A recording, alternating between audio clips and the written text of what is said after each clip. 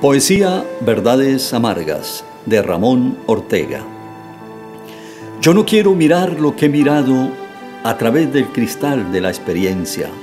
El mundo es un mercado donde se compran honores, voluntades y conciencia. Amigos es mentira, no hay amigos. La amistad verdadera es ilusión. Ella cambia, se aleja y desaparece con los giros que da la situación. Amigos complacientes solo tienen los que disfrutan de venturas y calma, pero aquellos que abate el infortunio solo tienen tristezas en el alma. Si estamos bien, nos tratan con cariño, nos buscan, nos invitan, nos adulan, mas si acaso caemos, francamente solo por cumplimiento nos saludan. En este laberinto de la vida, donde tanto domina la maldad, todo tiene su precio estipulado, amores, parentescos y amistad. El que nada atesora, nada vale. En toda reunión pasa por necio, y por más noble que sus hechos sean, lo que alcanza es la burla y el desprecio. Lo que brilla no más tiene cabida, y aunque brille por oro lo que es cobre, lo que no perdonamos en la vida es el atroz delito de ser pobre.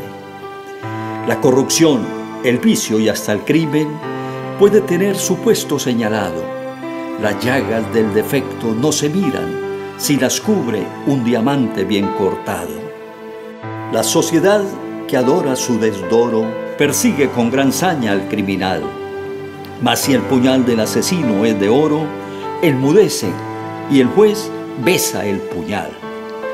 Nada humano es perfecto, nada afable, todo está con lo impuro entremezclado.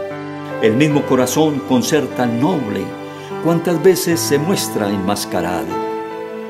Que existe la virtud, yo no lo niego, pero siempre en conjunto defectuoso. Hay rasgos de virtud en el malvado, hay rasgos de maldad en el virtuoso.